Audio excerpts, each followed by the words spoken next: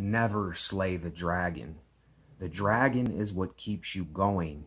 The dragon is the one that forces you to make a hard decision in your life, reminds you and is there to push you in and at all angles. The dragon might kill you, but can burn you badly. The dragon teaches you what not to do as well as what to do when the time is right, but it always seems to be wrong.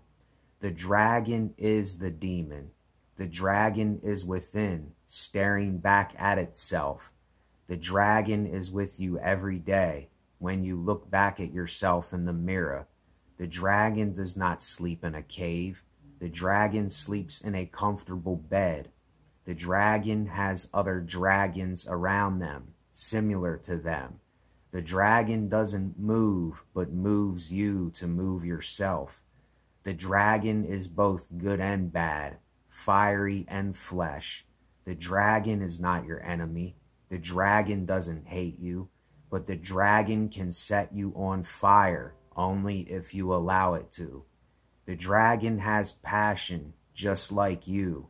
The dragon is capable of anything that you can also do. The dragon, the dragon, because the dragon is you. Never slay the dragon.